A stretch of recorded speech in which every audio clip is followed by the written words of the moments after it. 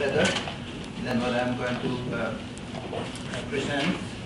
But our task, our joint task is, uh, is to make it uh, better. And uh, we have all chances to do so.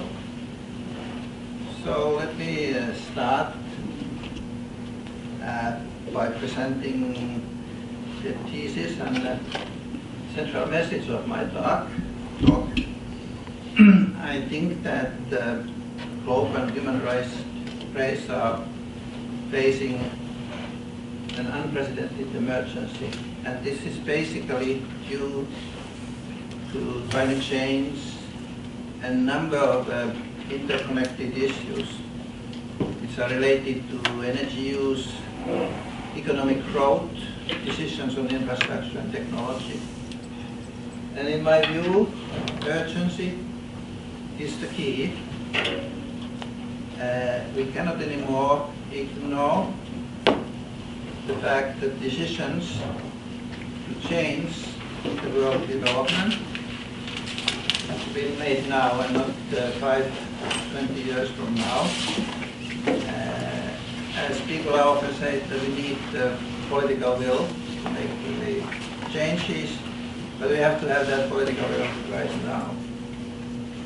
And I think coming uh, from the UN, uh, after spending like uh, 30 years uh, there, I think the UN is both the problem and the solution. And here I'm talking about problems in negotiations, in problems in UN's reports, and uh, and problems in integrated policy assessment. And in negotiations, and I'm now, although my background is in political science, and, and, and, and these issues are now talking really on the sustainability and uh, climate change and related issues, which of course have a lot of to do with the political issues also. But here on negotiations, I'm saying that after 20 years of intensive talks of, of many sorts, the CO2, carbon dioxide emissions are just growing up. And there's something fundamentally wrong here. Secondly, the reports of the United Nations do not take this global emergency as a central message of the reports, but the various worrisome issues are scattered throughout the pages. But the interconnectedness of all these components are not really shown and made clear. The policy planning system of the UN, where I spent quite a lot of time in different capacities, you don't have any integrated system uh, dealing with uh, all kind of emergencies and their interconnections uh, uh, at the, at, the, United Nations, and, and we should change that as soon as possible. So my the outline of my talk is that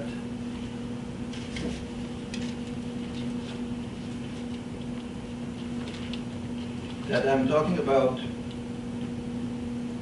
I'm giving some evidence that the world is going through a major crisis, and then what has been done and what should be done, and then some conclusions. And they are, in my view, very four very big problems of humankind. First is the climate change, then energy and resources, and then interconnectedness between climate change and global energy use. This is an issue which has, has not received much attention. In general, uh, interconnected issues have not really uh, reached the mainstream of thinking. And then there we have a meta problem, which is the urgency, that what we do now will determine the global development path for decades and centuries to go. There are, of course, other issues like water, food crisis, population growth, financial crisis, and they are all related to these problems, but I'm not uh, going to discuss them today. So the first big problem is global climate change and warming of the planet and global CO2 uh, and other greenhouse emissions have continued without interruption. And here you see global fuel and cement emissions, no sign of slowdown. There is a little uh, new evidence that uh, maybe last year there was a little stabilization uh, on the emissions. That would be a good sign and shows that uh, maybe some efforts uh, which we are doing to slow down this is, is having an impact. But it's so minor still compared to the problems that we should not uh, really uh, be too happy about that. Well, it's a good sign anyway. So here is uh, global fuel, fuel cement emissions, which are following the uh, uh, first part, which is this. Uh, this is coming from the International Panel on Climate Change and their projections. This is the worst case, which is leading to uh, four to six Celsius increase in temperature compared to pre-industrial times, which is far too dangerous for humankind and the future of human race. That's what we are, going to the present phase. and this is top, top emitting countries and you see here that the US is decreasing, which is a good sign. European Union is decreasing. But then this, the China, uh, it's very worrisome, bad. And also India, it's upward trend. So this is a general uh, picture of the emissions. And if we go to the per capita emitters, we see that again US is decreasing, but you see also that, and then the China is increasing. But you see also this big difference showing how much kind of um, responsibility Americans we all invest have for the uh, global uh, problem in this area. So another sub-problem of global climate change is that Arctic and Antarctica are warming more rapidly than other parts of the world. And this will intensify the rise of the sea level in the future. And here you see global surface temperature changes from 70s, 80s, 90s, 2000. And you see this red uh, uh, really getting much uh, clearer, and, and that's a very worrisome trend. Here is uh, Arctic sea ice volume trends, accelerating melts. These are like uh, uh, 12 each month of the year, which have a different path, but they are all going down. So in Arctic Sea, the ice-free, it could be ice-free already this year and ice-free all year by 2030. And that's much uh, more worrisome than was earlier expected. So this is Greenland ice sheet evidence of the ice, ice melt. And, uh, and of course, there is not enough uh, evidence yet or uh, data on all of these things. But if current trends of an exponential ice mass loss rate are confirmed, then in 10 years doubling time, and that's the uh, green line here, that would lead to a one meter sea level rise by 2067 and five meters by 2090 and the five years doubling time, red line, would lead to one meter sea level rise to, by 2045 and five meters by 2057, which would be only 40 years from now. this is uh, done by Columbia University. uh, professor or associate, uh, uh, James Hansen, here. And his associate, he is from the uh, school of more uh, bold and worrisome scientists. Not all scientists are agreeing uh, with, with, with his analysis, and I'm coming back to that uh, moment. Again, evidence that West Antarctic ice sheet is uh, forming faster than anywhere else on the planet. And it's forming twice as fast as previously thought. And some deniers are saying that global warming did stop in 1998. But what is happening is that most warming is going into the oceans, which is this uh, uh, blue area, and this is the uh, land and ice uh, uh, atmosphere. Another issue here is tipping points, which are the irreversible mechanisms that might trigger self-reinforcing catastrophic climate change. And some say this is already a question of some years rather than decades. And scientists have uh, determined some 15 candidates for tipping points. And uh, I'm showing them here. Uh, and I'm just taking this meta, meta methane uh, outburst, per, permafrost methane outburst as an example. Because the methane is uh, 20 to 70 times more powerful greenhouse gas than CO2. If, if melting continues and it released, you don't know what is going to happen. It's so powerful. Uh, and, then there's other tipping points that we don't know all the uh, impact of them. Now on this, the impact of all this in the uh, sea rise of the sea level. There are two schools, schools of thoughts which I mentioned. There are some cautious scientists who stress the lack of data and difficulties in methods and uh, intergovernmental panel on climate change is a good example of that.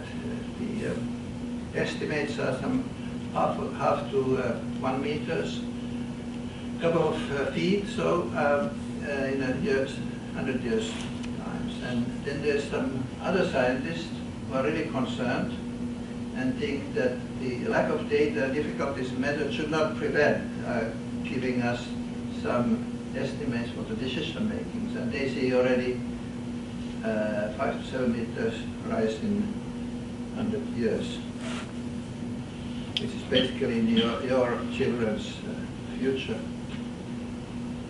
So, I, I, mentioned James Hansen, who was the long-term head of NASA's Goddard Institute of Space Studies, leading climate scientist at Columbia University.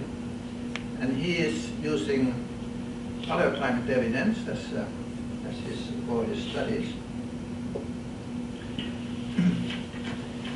Among other things, but he's really, really respected grand old man of climate science. Uh, so here is CO-driven temperature increase uh, in the world and uh, its impact to seawater level. And here we have situation in the, on the globe some uh, 10 to 60 million years ago, it's a long time ago, but here is the present. And uh, uh some uh, 40 millions ago, there was no ice sheets on the planet, and the uh, seawater level rise was 70 meters higher. And uh, some uh, 10, 10 million years ago, it was the time the Greenland West Antarctic ice sheet started uh, uh, glaciation process, and the uh, the water level at the time was six to seven meters above the sea level uh, from the present. Now we are here, and the CO2 concentration in the atmosphere are similar, starting to we, this is an internationally accepted climate change uh, target, which we are going to reach in a couple of, maybe a decade or two. And that would mean that we have similar conditions, which might take some time to stabilize, that it was 10, some 10 million years ago when the sea level rise was 6 to 7 meters higher than today. But this 4 Celsius is actually where we are now. We are heading towards that. We don't stop, change. And that would mean that similar conditions and as 40 million years ago, which, which was the 70 meter sea level rise. And what this all means is, this is just an explanation of that. I mean, this, these slides are available if you are interested. The implications of this is that the official ob objective, which is the uh, Copenhagen Accord uh, of limiting warming to less than 2 Celsius above pre-industrial levels, is likely to produce 6 to 7 meters sea level rise over time, wiping out cities like London, New York, Shanghai, Singapore, Tokyo, Helsinki in their current form. So it gives you, of course, how quickly this happens. It take, whether it's in 100 years or 100 years or, or several hundred years. And, but anyway, current policies, if they are implemented, as we are now seeing, are like to result in a temperature increase above uh, 4 Celsius and produce a sea level rise of 70 meters, which is, over time, which is catastrophic. And this is what James Hans Hansen says, Florida looking like a little bit over to the, hundred years or so. So that's uh, five meters rise, which is 18 feet. But that's that's his his his opinion. This is taking one of his TED talks in Florida, where he said that this place where he's talking would be underwater. So there is also much talk, has been much talk about adaptation to the 4 Celsius increase compared to pre-industrial times. And what does it mean? And I'm just taking what Hans-Jan Schellnhuber, who's the director of Potsdam Institute for Climate Impact uh, Research, did say in 2011 that what is the difference between 2 Celsius world and 4 Celsius world? It's a human civilization. And that it was saying that 4 Celsius temperature increase probably means a global carrying capacity below 1 billion people. And, and if you have 7 billion right now, so where are all these 6 billion people going? And what happens to them? So this gives a kind of a, uh, evaluation of the magnitude of the problem. Uh, Schellnhuber is the uh, climate advisor to uh, uh Angela Merkel. So they, they are working quite closely together. So let's go further and uh, uh, and talk about a little bit about increasing rate of natural catastrophe linked to climate as well as loss of biodiversity. So you see here that the geophysical events are here, earthquakes, tsunamis, etc. They are pretty stable. Uh, and of course, you don't see much uh, correlation between climate change and them. And, but then meteorological events like storms or hydrological events like floods, they are increasing steadily. That's a worrisome trend. And here is the picture about biodiversity and uh, that it has been reduced 28% from 1970 to, I guess it was 2008, and it has just increased in rate, and you see all these declining rates of, of uh, various species. uh, which is also worrisome. And then uh, terms of drought and desertification, uh, there's this Palmer drought index, and, uh, and you see the uh, red, red ones are increasing when we come from 2000 to 2030s, 2060s, 2090s. That's a prediction, of course. So that, that's also a worrisome trend. The next problem is our resources. Our global well-being and economic growth have been measured by national accounts, which use gross-national product as a key measurement of growth. And I used to be in the statistical field and was, I was also involved in uh, these kind of measurements. But GDP doesn't tell about the impact of growth on environment. In the future, so-called global ecological footprint will be a key position in my view, and it will ultimately answer the question whether our economic development is based on a Ponzi scheme in terms of its use of global resources. And here is a picture of a global footprint, which is like how much resources will be needing uh, in order to replenish the state of environment to its present states. So are we like going beyond the limits of the globe in terms of resources? And in 1970s, we had a balance. But after that, it has gone like 50%. And uh, we could say that we, in terms of resources of the world, we need one and a half Earth of worth of resources. And if this GDP growth rate, like 2.3.2, will continue, uh, then in uh, 2050, is this 2050? We will need four uh, resources, uh, worth of four planets of resources to be able to do that. And of course, this this looks like something which can, cannot be sustainable in the long run. And in terms of the regional distribution, the same thing. Uh, we see that North America uses like five globes, and this is Africa, just one one third of the globe. So these are like uh, uh, quotas to give to each one. And so we in the West are really the government is here economic growth so, and its use of climate change.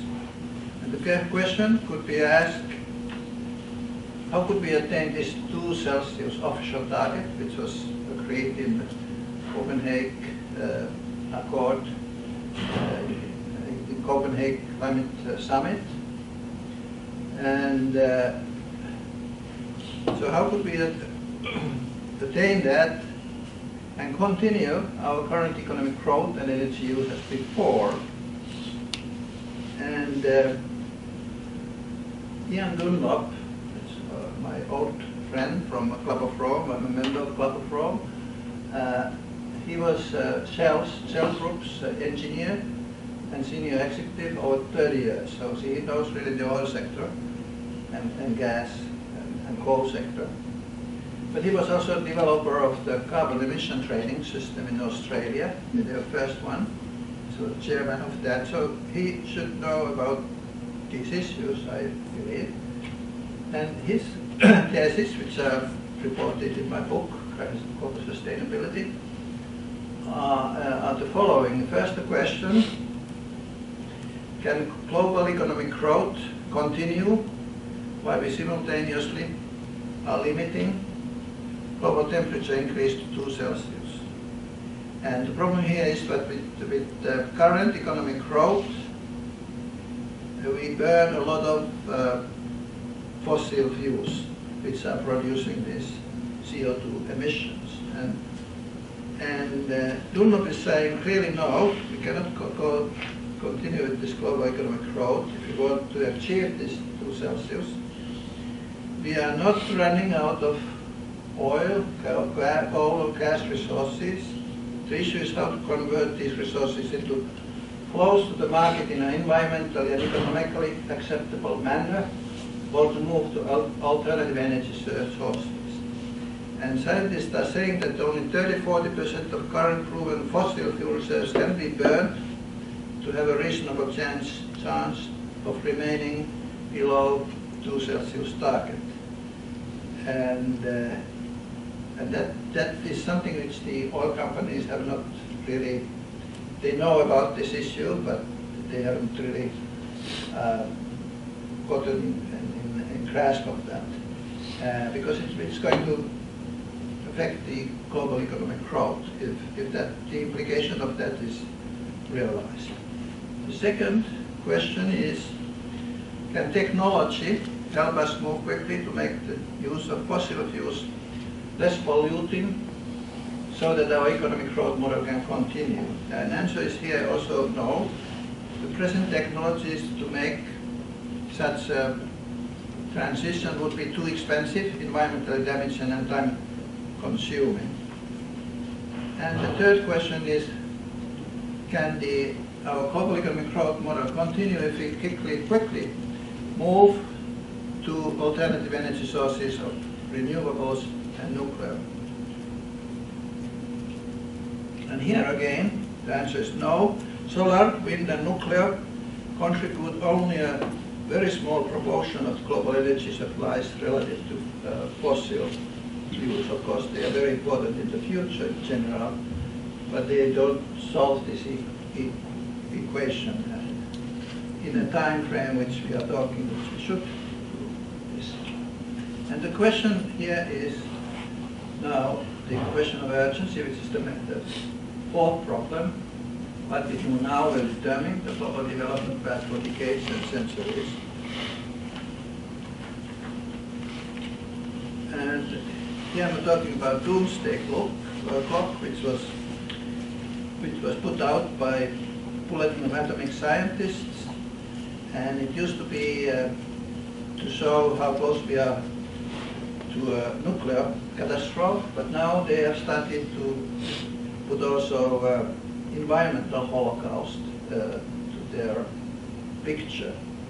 and I'm reading this uh, uh, uh, which, uh, something which Allison Macfarlane, who is chair of their science and security board of this Bulletin of Atomic Scientists, is saying, the global community may be near a point of no return in efforts to prevent catastrophe from changes in Earth's atmosphere. The International Energy Agency projects that unless societies begin building alternatives to carbon-emitting energy technologies over the next five years, and now because this was said in 2012, now it's in two years, the world is doomed to a warmer climate, harsher weather, drought, droughts, famine, water scarcity, rising sea levels, loss of island nations, and increase in ocean acidification.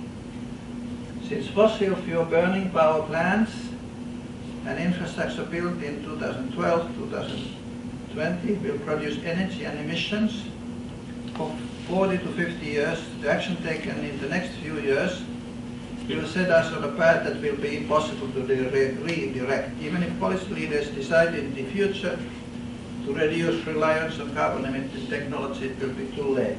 That's what uh, Allison Macfarlane was saying. Now coming gradually to, uh, to what should be, should be done. And I start with trends in uh, international awareness of these issues. And uh, I believe the Club of Rome, where I have the honor to be a member, was one of the first uh, started talking about these issues already in 1968. And then in 1972, they issued, or uh, MIT team issued the famous study, Limits to Growth, which was really showing at the time already that we do have limits in, uh, in our use of global resources. And it was quite a lot of criticized in 1970s and 1980s. Uh, and then it kind of was, was forgotten. but now, nowadays, it's, uh, its predictions and scenarios are, are taken quite seriously. 1972 was also our first UN conference on human environment in Stockholm. It was 113 member states present and 109 recommendations. Uh, then we have Brundtland Commission on Sustainable Development, a 1992 UN conference on environmental development in Rio de Janeiro, that was the first Rio. And the number of member states was grown, 176, over 100 heads of states present. Then we have 2002 World Summit of Sustainable Development in Johannesburg, 191 member states, 102 heads of state, no binding of agreements. And then we had, uh, three years ago, uh, UN Conference of Sustainable Development uh, in Rio de Janeiro, Rio plus 20. And again, a lot of member states, hundreds of heads of state and uh, thousand NGOs or more. But what are, what are the results in terms of CO2 uh, emissions in all these 20 years? It's just decreased, decreased all the time. So it's a major failure of, for the UN system where I'm coming and spent 30 years there. Uh, and hopefully now we are starting to see a little bit changes. Uh, there was also worrisome sign in 2012 UN conference in Rio that we have, we have a move from commitments to voluntarism. Uh, at least in my view, it, it is a worrisome trend. Then thinking about climate change talks, we had a Rio, UN Framework Convention on climate change was signed. Then we have a Kyoto Protocol it was more, more like uh, for industrial countries. And we have in uh, 2009 uh, Copenhagen Accord and a number of other confer um, conferences, summits. And just uh, recently in December in Lima, Peru, and then we will have a major conference in November, December 2015 in Paris. And the question is whether we can get a major agreement at that time. So, what should be done? First on, in terms of the Paris Agreement, then in terms of changing the UN, creating a new global paradigm of change, and then, mobilizing masses, youth, world citizens. And then starting one with the uh, UN climate uh, meeting, in 2015. And one question I have been dealing with, and we are organizing a workshop on this issue in uh, Brussels uh, soon with, with, all important uh, partners, is that could we learn something from the cap and trade mechanism which was used in the United States to solve the uh, acid trade, which was a big issue in the 1980s 1990s, and, and really cap and trade system was useful in, in that. And what we are saying here, I'm saying that we could use the current and, well, create it by oil economy and transfer that money into clean energy.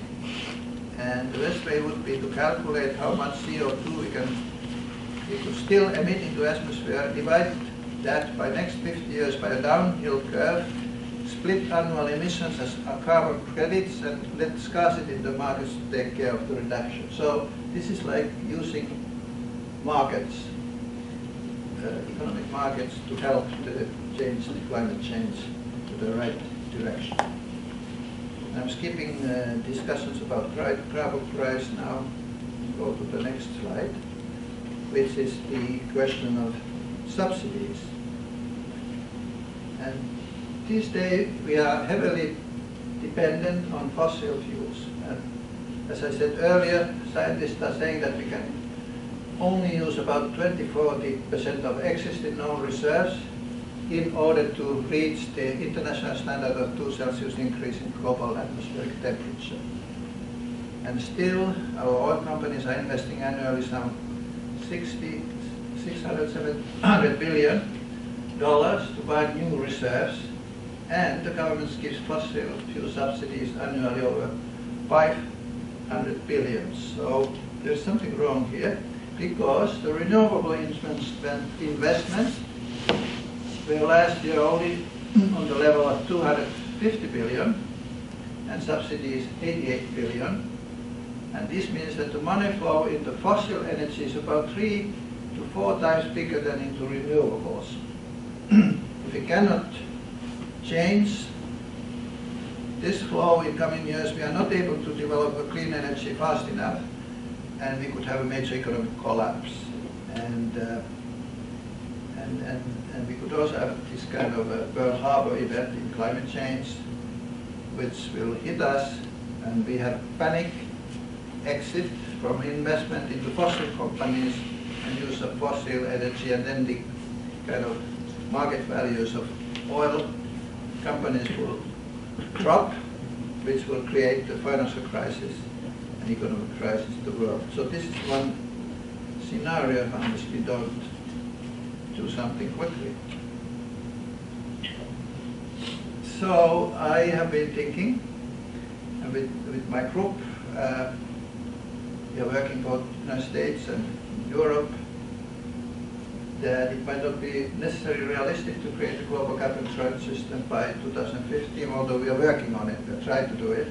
But there should be other Uh, measures take, which should be taken up at the same time.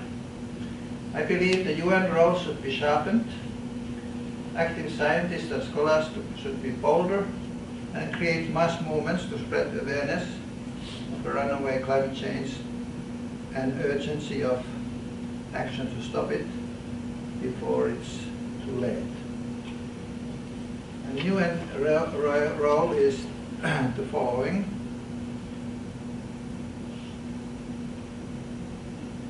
Our Secretary General has been quite active on climate change, but he should work together with the heads of uh, IMF and World Bank in a more bolder fashion the UN reports on these issues should become sharper, putting out the global emergency message. If you read UN reports, if you don't see this, what I have been presenting, scattered throughout the report, so you cannot get kind of a, you, you, you don't get the understanding of the seriousness of the issue. Because it's not very popular to talk about this issue. and the uh, organization at the UN should establish a truly multidisciplinary policy planning capacity and global, global emergency unit. That should be done. Now, terms of civil, civil society and media, I believe, and my group also thinks that we have to mobilize rock stars, movie stars, film directors, painters, other artists to speak about the global emergency. And we are trying, we have done uh, one session in New York and in Europe where we bring artists uh, who are interested in the issue together with the kind of activists and, and uh, political scientists. And uh, of course, artists are idols, idols uh, for young people and and also sports sports people. So we are working also starting to work also with sport organizations that they could realize these these issues and spread the message and then arrange concerts and documentaries on these issues.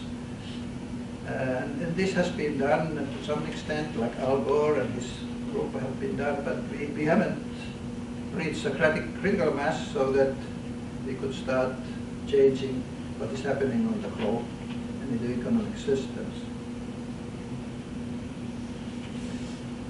Uh, in my book, Crisis of Sustainability, I was also thinking about long-term global governance change for the world, which would mean a global complete overhaul of the UN system first and then some emergency measures.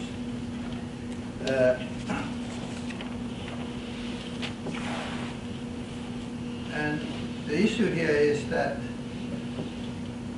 once the severity of the crisis is accepted worldwide, or by the majority governments, a second conference of the UN Charter, foreseen in its Article 209, should be called for. This has been there in the UN Charter, but it has never, never been used. It was initially the idea to have a second conference, the UN Charter, but it, it has not been done. So this would mean that we could start a two uh, democratic process where all the countries and stakeholders could be present uh, to understand uh, the situation and uh, create some uh, new uh, organizations and bodies which would be more, effective than the present ones. And one idea is of, which we have had at ECOSOC, the Economic Social Council of the UN, become as important and um, politically relevant as the Security Council is right now. So uh, these days the economic power is uh, divided between Washington, there's the US government, the World Bank and IMF, and then there's the ECOSOC in New York. Uh, uh and uh, we don't have such a thing as like a economic security council, but it could be created in an overhaul of the UN Charter. But anyway, this kind of conference could take a long time, and it uh, because it, it, it could be a, its outcome would be a new governance structure for the world, and then therefore there should be some um, uh, emergency measures to complement this kind of democratic process, and uh, and I am uh, now addressing a few of them, emergency measures. Uh, the one is the establishment of a global crisis center or 24-hour operations room to monitor the global emergency, which could be in New York and uh, some kind of associate centers uh, elsewhere also. Sir Richard Branson, Virgin Atlantic uh, Alliance, has established carbon war room, which is a little bit similar but much uh, less ambitious concept. Uh, then we could have a kind of network of these crisis centers throughout the world, and uh, that was something I also developed in my book. Now I'm coming to uh, to my conclusions The globe is soon hitting its limits, or some say that it has done already so, at least to some extent. And the policies of governments and corporations have not changed much over the last decades. An early warning of this situation was already given some 40 years ago. This was the study I mentioned, The Limits to Growth, was, which was presented the of Rome and recently people are starting to reassess uh, that and saying that its projections were largely accurate. Some scholars are pessimistic and some are hopeful, but many say that in order to really move, you need some kind of Pearl Harbor moment. Uh, is the Hitler's invasion to Poland to really awaken the humanity to severity crisis. And uh, I believe that the youth, I guess all of you, uh, are in a key position because it's you and your children and grandchildren who are facing the, the uh, yeah, so started the website and uh, trying to uh, people hired or volunteered to use to put some social media messages all around. Uh, it's something which is in the, the making. Uh, so using social media, things can change quite quickly. It was just a bunch of few people who started this Occupy Wall Street movement uh, before the president's, uh, presidential elections, and it changed quite a lot. The debate for a while, not, not very long, but still, things could change quite quickly if they start moving. But I think the, uh, we don't hear that much about Occupy Wall Street movement anymore, but anyway, it should be really changed from Occupy Wall Street to Save Wall Street because the sea level rise threatens lower Manhattan, as Hurricane Sandy We also need various kind of green project and networking throughout the world. And basically, finally, we need a new set of values, keeping the interest of future generations in mind. Uh, and we need global, regional, national, local institutions that are able to manage this crisis. Here is the uh, book I wrote on these issues, and then we, this website is on my book, but then we have now website which is uh, Global Crisis Now, which is, which is on, on this, and we're just trying to fill it make the message out, we might need your help uh, if uh, assistance. So that's all. Thank you very much.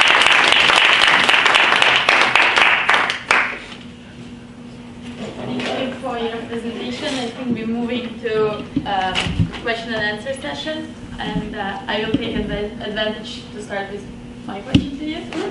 Um, you spoke a lot about addressing the issues from below, from like youth and student organizations.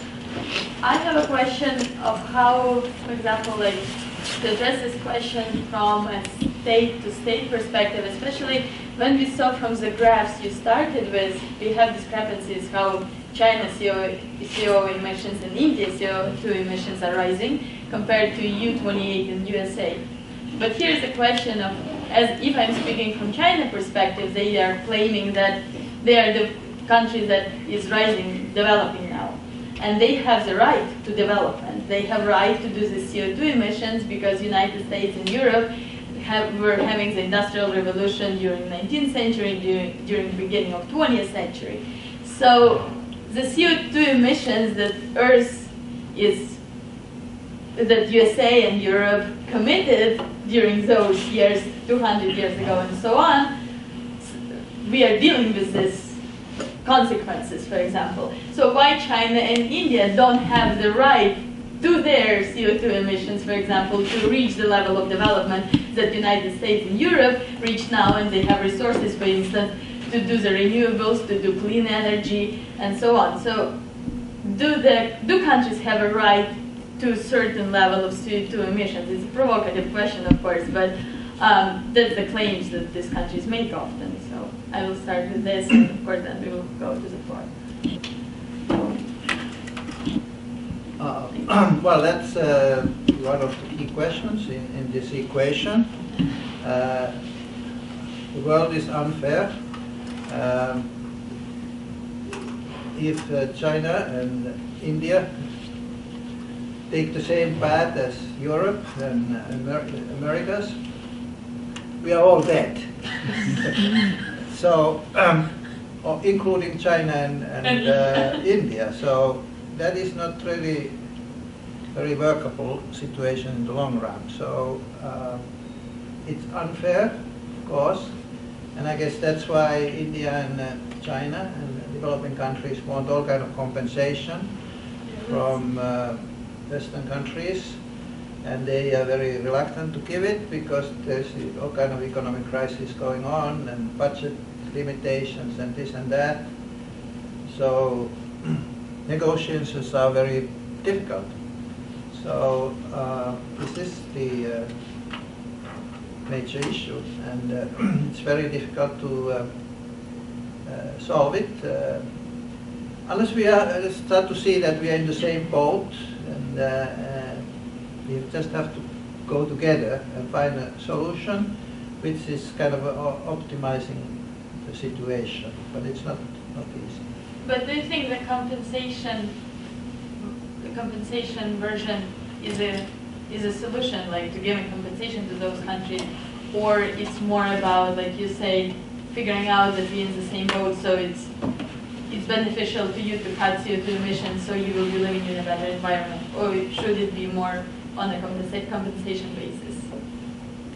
Well, the, it seems that compensation has been a difficult issue, and uh, uh, I'm not sure if we have made that much uh, uh, progress of that. But maybe more promising is if, if in these market mechanisms, which I mentioned, uh, cap and trade system, carbon price, and all that, if we can get some kind of incentive that when we move to renewables, some uh, higher percentage of profits and uh, funds go to the developing countries.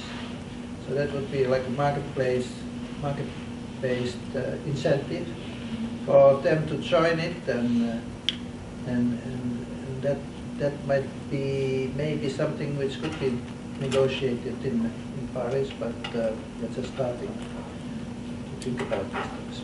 Thank you. Questions? Thank you. Uh, excuse me. I have two questions. The first one, it's on the shift from uh, fossil uh, energy or oil to renewable energy such as solar energy, as you mentioned in your presentation. I was doing some reading recently and I found out that, of course, it's not that costly to, to, to, to use uh, solar energy, for instance. But one of the authors mentioned that the cost for maintenance for such infrastructure will be even higher than what we have today. Uh, so I don't know. On, on renewables, you mean? Excuse me? Re- On renewables, Yes, yes. And of the cost of it will be higher to maintain the infrastructure as compared to what we have, for instance, using oil and other uh, traditional way of producing energy. So I don't know what will be your intake on that. And the second question, I don't have, can go straight to the second one. You, on mobilization, you mentioned states and civil society, but apparently you didn't touch uh, the role of multinational companies or yeah, enterprises because I would assume that they are the ones who are actually involved in pollution and all these. They are kind of higher stakeholders in the pollution process. So what role? multinationals. Yes. Okay. So what role and place are you putting, uh, are you giving them into addressing the issue of uh, global warming? Um, I, um, I'm, I don't know where, where you got this uh, uh, information that the, uh, the, the, that uh, the infrastructure to uh, maintain ren- renewables is um, higher. Uh, I, I don't have that kind of information. Mm, Some of the kind of electricity grids and, um, and gas station networks could be used uh, in the new kind of green economy. Uh, So um, uh, there might be big cost in terms of transition, making the changes, uh, because that, that is, could be quite difficult, because we are trying to run two economies at the same time. One is the old fossil fuel-based economy, and one is a green economy. And we cannot do it in a rational way, that we shut off the other one and then we build up the other. We have to kind of use the old uh, uh, networks and grids and all that, and somehow transform it. So it's a complicated process. So uh, maybe maybe the figures you are quoting are, are, are relate, related to that, that. But I don't see that it's uh, it's any any more uh, costly. And, and some of the networks uh, we are, for instance, talking about methane as a kind of new kind of fuel, and the present uh, uh, gas uh, station, gas, um, of natural gas uh, infrastructure could be used for that. So that, that is uh, evidently possible. Now, mobilization of multinational companies is, is a key. And, uh, and I was talking about these issues to uh, chairman of the Shell Corporation, one, to one, which happens to be also Finnish. And, and he agreed, this is a problem. And uh, I, showed, I showed him uh, a picture of James Hansen about Florida and the water, and he agreed. I mean, he, he has also children and grandchildren. And uh, so uh, a number of multinationals and companies, and uh, because they have a big research staff, and they understand this problem. But it's very difficult for them to change the world and the governments and the regulations, and they need also incentives from the, the from governments how to make a workable system. So that's kind of uh, uh, lacking. So they are they are waiting uh, signals from Paris in the uh, uh, agreements that that the governments will say now we change the world, and the, the multinationals would also uh, change. So this this is related to oil companies. So probably other multinationals also started to realize this. And actually, we we have we have been also involved in the World Bank uh, carbon pricing um, initiative, and uh, UN Secretary General had last this September a summit in New York, and there was uh, hundreds of big corporations who were willing to uh, uh, support the carbon pricing and a number of these kind of new initiatives. It's more like the some governments are against it because it's uh, it's not the way they see that diplomacy should be should be done. They uh, little the the idea of uh, introducing markets, carbon markets, carbon pricing in these negotiations is a new new uh, angle, new uh, initiative approach, and some countries are against it. It's uh, because they're thinking in old ways, I would say. So this is uh, my take. Further questions? Uh, Please introduce yourself. And uh, Uh, My name is Tamika. I'm, we're doing the MA in Peace and Conflict Studies. I'm from India, so um, I was just wondering, instead of compensation, there was talk, there are stipulations in these agreements about knowledge sharing as a possible bridge gap solution. Sorry, what sharing? Knowledge sharing. Knowledge sharing? Yeah, so like I know that they've started establishing wind farms and started using Western technology and producing wind, wind energy as one way of switching to a sustainable kind of energy resource. So I was wondering what are your thoughts on that and what could be the scope of knowledge sharing as a possible solution? Like is it feasible? Can it have that much impact? And talking about carbon trading and carbon markets, does that not defeat the purpose of setting a carbon cap? If they're trading in these carbon emissions? on on uh, uh, knowledge sharing, I, I think it's uh, this is already happening. Uh, there's a lot of structures to do, do that, uh, and then it could be improved, and I guess it will be improved.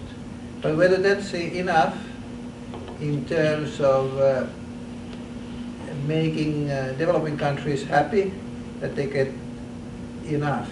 The, the, usual way of thinking is that we need money, we need financial assistance. And you give it to the government, and government has full right to do whatever they want with that. Now, what I'm uh, talking a little bit is that we could have a little different system that that the, uh, the markets could be used so that the developing countries could get some benefits out of that. And uh, that might be more viable way in, in, in the future. So I don't know if this answered your question.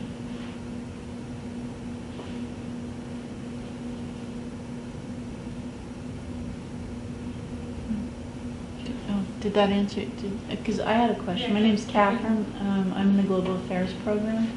Um, You mentioned wind energy.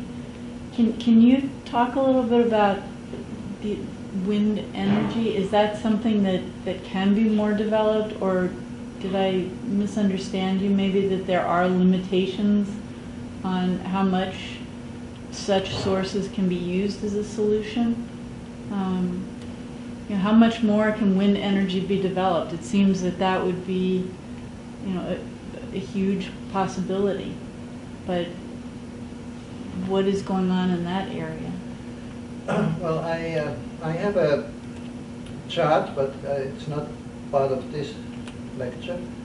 And it shows the percentage of wind energy Yeah. uh, on the globe. And it, it's so tiny, it's like zero percent. Because it's, uh, it's just rounded. It It has to be rounded to zero because it's so small. However, wind and solar has improved in terms of technology tremendously over last decades. And, uh, uh, and, and there are some uh, kind of statistics and uh, studies that if they are used skillfully and uh, boldly, they could really like, I don't know what, what was the real figure, but they could produce 25 of India's uh, uh, energy production, etc. And, and uh, the issue is, I guess, in India and elsewhere, is in developing countries that it's much cheaper to use coal, and uh, and it's kind of immediate benefits are there. Mhm. But then, uh, then we see what happens in China that people are moving out from China because the air pollution is so bad. Uh, kind of uh, intelligentsia is, is sending their children out, out from China, and that's uh, that's kind of terrible uh, future. So uh, uh, there are possibilities. You use wind and uh, solar, particular, and, and some some are saying that nuclear energy could be a kind of interim solution for next 50 years. Uh, it's not polluting, and uh, and then it should be phased out. But of course, there's this uh, storage issues. Uh, That's that's a difficult issue.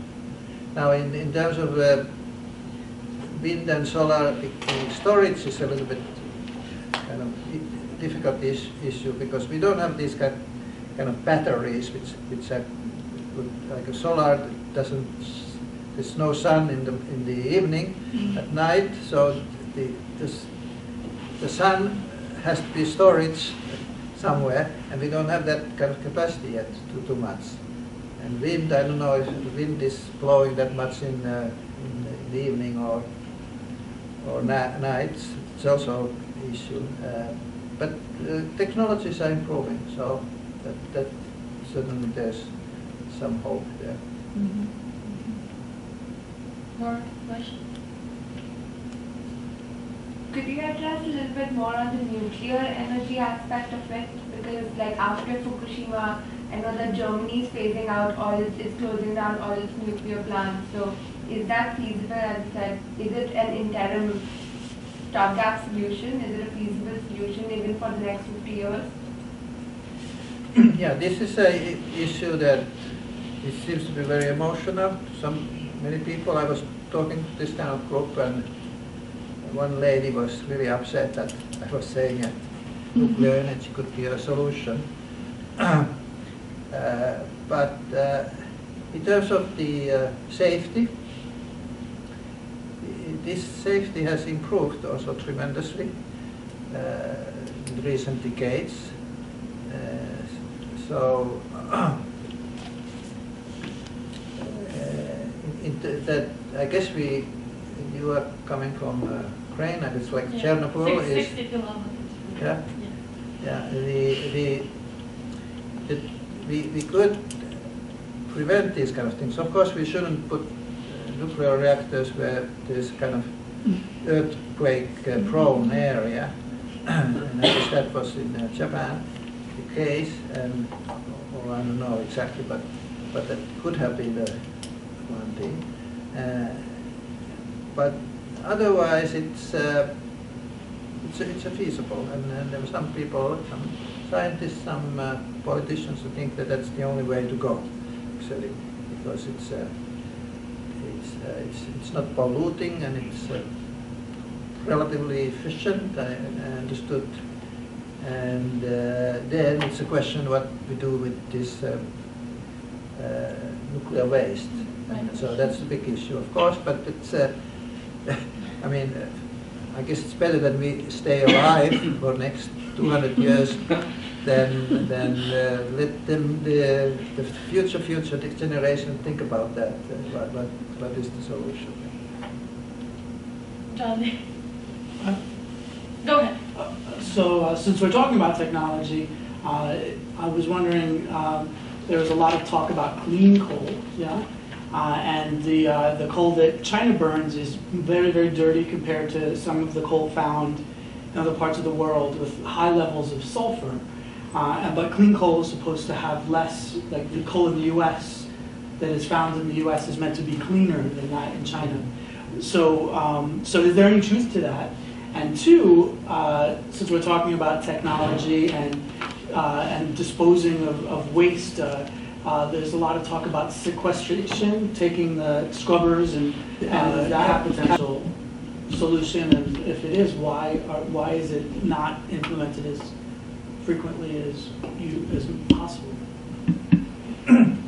Uh, uh, That's true that uh, coal has uh, different grades and some, some are very uh, clean, much cleaner than the others.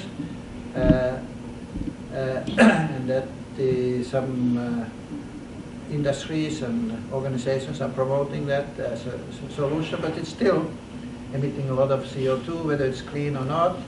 Uh, It's, uh, it's, it's kind of bad idea to, to, we- are not saving the human race through uh, clean coal. The, now, the capture and storage issue is also, uh, in- and technology is in- in- improving. Uh, It is uh, a lot of progress, but the, the amount of industry that we would need is to really start to make difference is so huge that I guess Ian Dunlop, who was the She- the uh, and I think it, it was, it was mentioned in my book, um, a figure taken from him that to be effective, we would need industry which would be at the same magnitude that the whole oil industry at the moment in terms of of being effective, in, in terms of making a real impact. And how, where could we create that kind of industry quickly? So it's, it's a, it's a partial solution, but it's not really a solution. It's, it's, it helps a little bit. But I guess it wouldn't be profitable, otherwise it, it would emerge as an industry, as a viable, Evidently not, yeah, evidently it's not, It would- probably, it would emerge. maybe, maybe uh, in the negotiations, some uh, incentives could be built so that it would become more and more profitable. And uh, I'm, I'm sure, almost sure that this has been thought out also. But it, it, it- at the moment, it's not moving that fast forward as it should be. We have a question. Yes. Uh, What's the role of uh, conservancy in, in your, in what you propose? Um, And like I wanted to draw to like uh, what was happening in the States in the seventies as far as the amount of uh, gasoline can be purchased, like, depending on the day. Is something like that, I don't know at what scale, but uh, state-imposed conservancy be a solution or part of a solution? And then, uh, what's the role of uh, natural resource preserves as far as also states or international bodies monitoring, mon- like uh, they monitor or preserve, uh, you know, forests and stuff like that, which naturally, uh, you know, get rid of the CO2. Um, what's the role of that in uh, in your plan? Well, I would say that it helps, should be done, but it's not enough. Uh, I mean, th- there is a kind of uh natural tendency in uh, people thinking that we, have to recycle and uh, conserve and uh, save water and save resources, and that it's, it's all good and it should be done. But we, we really need uh, the governments to act and give uh, some kind of signals uh, to the companies and markets, and, and then use, of course, legislation in their individual countries to, to make binding decisions. But uh, it, it's, it's also important, I think, in the psychological message that the people start to do something. You, you, you in your own lifestyle, you, you use kind of ecological principles and, uh, and, and then, then, you have a feeling that you're participating in the global Save the World uh, campaign. Uh, uh, although it's mi- maybe minor in terms of the global emissions, but it's still something, and that should be kind of a mindset of, of all of us. And just a quick follow-up. Uh, your idea on uh, having um, credit supply or certain caps, would that be tailored specifically to multinational industry, states, or would it, can it also be applied at a consumer level where, as a, you know, me being a citizen here, if I use less of certain type of, um, you know, hydrocarbons or whatever, whatever kind of energy, um, this, you know, I would get a tax credit as a citizen, or is it going to be more tailored towards the state or big business? Um, they would receive the credits, um, like the industry, they're the ones that should be tailored, you know, have these plans tailored to, or will there be different size and scale for different, you know, for everyone participating in, in the economy? Yeah, I, th- I think they're, they're happy and thinking of, uh, along these lines, that, uh, that we, we have these cap and, cap and trade systems, uh, like Ca- Ca- California has some, some kind of system, and some others, uh, some other states, and uh, then in China, there's a kind of regional and uh, state systems. It's increasing ev- everywhere. And there might be also, I I think there's also some, some systems in the cities, and whether this could be put at the consumer level, in the way you described, that, that, uh, that might- might be an idea also. But I don't know exactly how it would work. Thank you. Do we have any further questions? Oh, Yeah, yes, ma'am. okay. Uh, Going back to the crisis in the global sustainability itself, as you mentioned about the UN not being uh, effective for the past uh, uh, two or three decades toward addressing this issue, do you think the problem is at the UN or state level, or that there is no clear uh, communication between different actors involved in the process of addressing the issue? Because apparently it looks like we wait uh, on the UN and whatever the UN suggests we need to move with but yet uh, that UN language sometimes does not really translate in a better understanding where we, we, we talk for instance about climate change or whatever. As you mentioned earlier on, saying in the UN report, for instance, you can't see it clearly.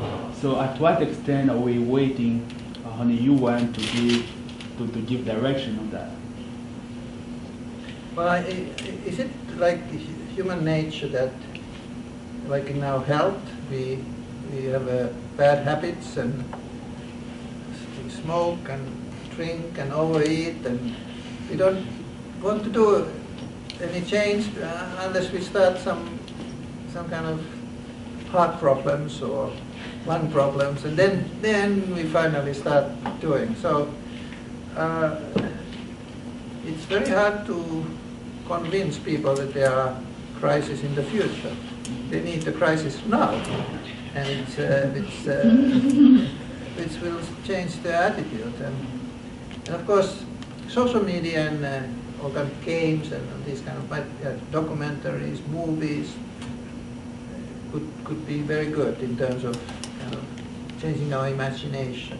That if we have in uh, smartphones some kind of a sea level rise scenarios that water is coming up and what should we do and this kind, I mean that that that might be uh, a way, way to do it. UN is a very big organization. There are a number of agencies and and uh, they own have their own ambitions and uh, political cycles, etc. So it's uh, very difficult to coordinate that and you know, it's, it's an all big, big organization, and particularly in a political organization like the UN. So, Um, some of us are in the environmental politics class this semester, and this past week we were talking about individual consumption, and kind of the consensus we came to as a class is that it needs to be a cultural sort of awareness, and we were talking about education from a young age, teaching children about um, environmental awareness, about personal consumption, and I was just wondering, has there been an emphasis on education for children with UNESCO or any of the other UN organs? Has there been a real emphasis on like drilling this into children from a young age from an educational perspective at all? uh, I, I have not followed but UNESCO, UNESCO, UNICEF, they have done, but let me just tell my own experience. I I was talking exactly the, almost like the uh, talk, similar kind of talk in Port Chester, in Westchester. And it's the organization, organization called One World. And uh, its founder, interestingly enough, is a Republican politician, uh, Joe Carvin, who is a town supervisor of uh, Port Chester, Larchmont, and some other. And, uh, and he invited me to speak, and uh, he basically agreed to everything what I said. But for a Republican politician, it's uh, interesting. Um, but he has also, he's, uh, he, he, he has uh, lived uh, in Africa and elsewhere, so he has this kind of worldview, and uh, he has started in Port Chester, uh, kind of a school program on sustainability, sustainable schools.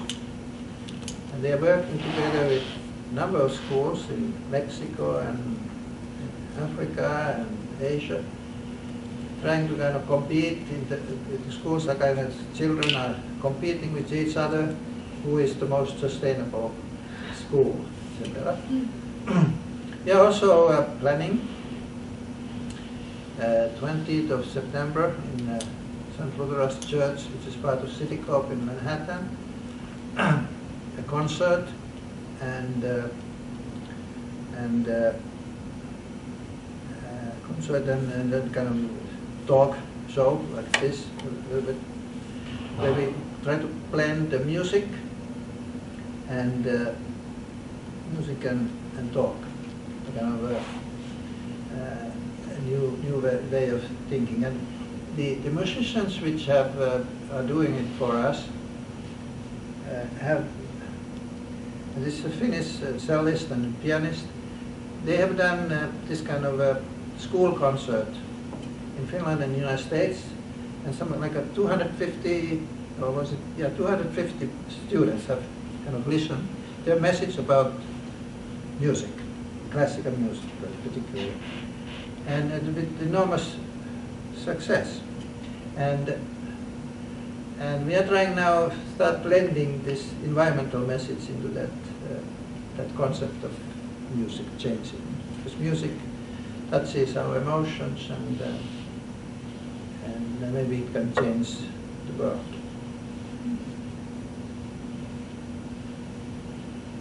Any questions left. I think, I think we're done.